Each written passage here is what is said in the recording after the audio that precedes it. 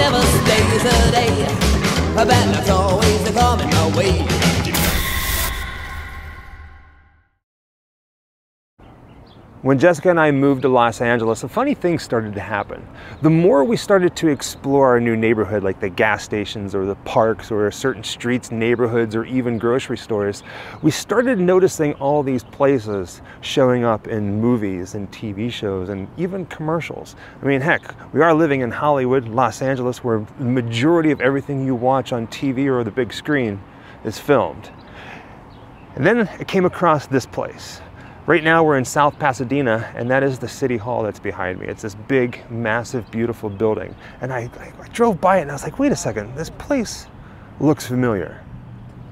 When I was growing up in Pittsburgh, Pennsylvania, my dad used to get us every other weekend and we would stay up late sitting on the living room floor eating popcorn and chips and dip and drinking soda, pop, whatever you want to call it. And we used to watch a TV show called Unsolved Mysteries. And that is where I know this place from. Tonight, a special Unsolved Mysteries report Mysteries of Alien Beings. In recent years, hundreds of people have come forward with startling accounts of abduction by alien beings. Even though the descriptions are strikingly similar, there is no hard evidence that such beings actually exist. For many abductees, the memories are triggered by a vivid dream.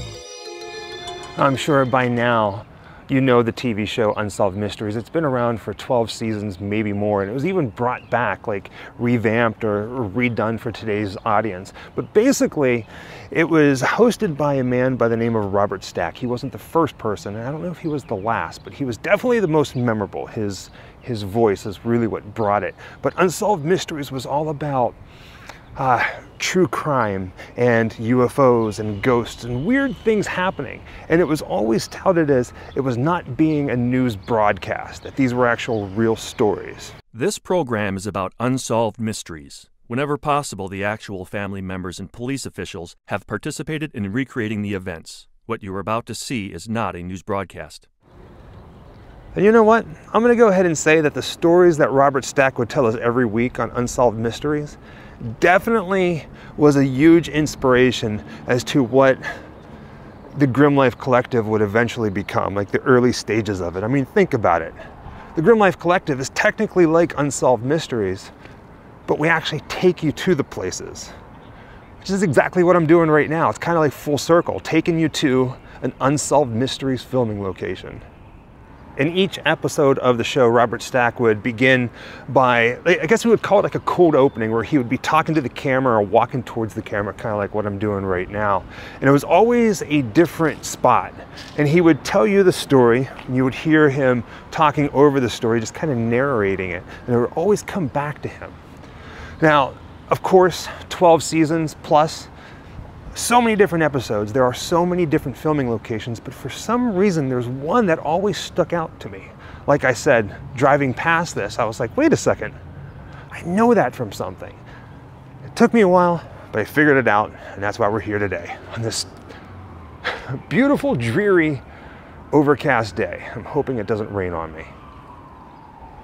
What brings us here today is a small clip that was filmed right inside the entrance of the City Hall steps season one. I think it was episode six or seven or three or four. I don't know, it gets weird whenever you, you find it on streaming. But it's two episodes where they're talking about David Berkowitz, the son of Sam Killer from the 70s in New York City. Uh, at the start of the episode, Robert Stack can be seen walking right towards where I'm standing, coming down these steps, and then coming to a stop, talking to the camera right over towards that lamppost to the left. In 1977, the nation believed the Son of Sam murders were solved. But in the last 11 years, reporter Maury Terry has collected convincing evidence that David Berkowitz did not act alone. Tonight, we examine Terry's theory and present other mysteries where you may be able to help. Join me. You may be able to help solve a mystery. Of course, all of these scenes were filmed at night and the lights were on, including that chandelier right there. But if you look at the scene again, look at the roof above Robert Stack as he's walking. You can still see the same design. This building is beautiful.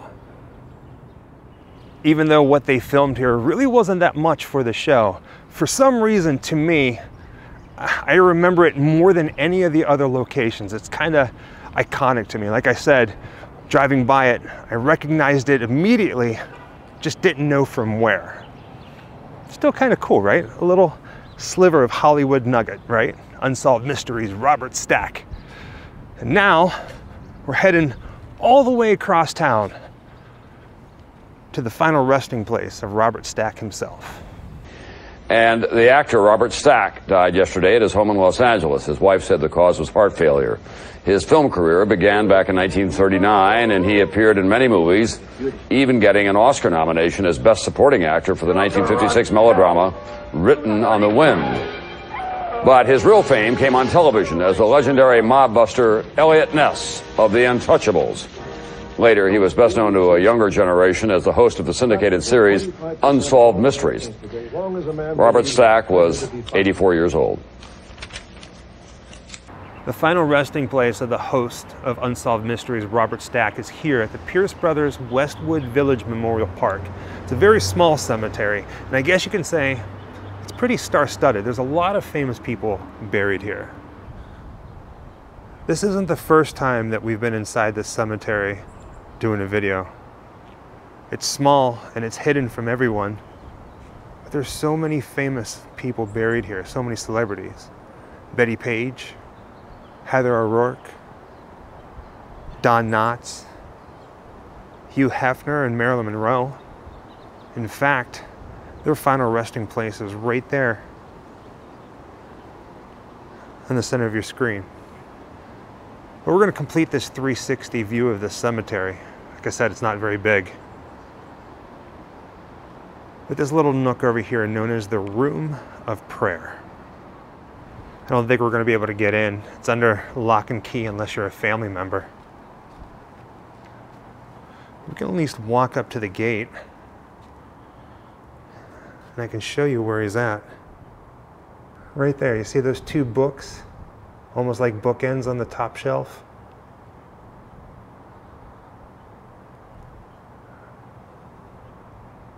Crazy. Unsolved Mysteries is what I remember Robert Stack the most from, and he started hosting it in 1987. But I guess most people remember him from his role as Eliot Ness in the movie The Untouchables. But he was also in a movie called 1941, which was directed by Steven Spielberg. He was in Airplane. Um, he there's a, an animated version of him in Beavis and Butthead Do America, Caddyshack 2, Joe versus the Volcano, uh, BASEketball. I mean, the man has been in a lot of stuff. He also provided the voice for the character Ultra Magnus in the Transformers movie in 1986. I didn't know that until I started doing research on him. And with that, thank you for joining us on another grim adventure, this time telling the story of Robert Stack, visiting what I consider probably the most memorable Unsolved Mysteries filming location, as well as the final resting place of Robert Stack himself. Till next time, happy Halloween. Do our minds possess untapped psychic powers? Can we move objects without touching them? Can we communicate clairvoyantly with the dead? Join me two weeks from tonight as we explore these intriguing questions on a special Unsolved Mysteries report Mysteries of the Psychic Mind.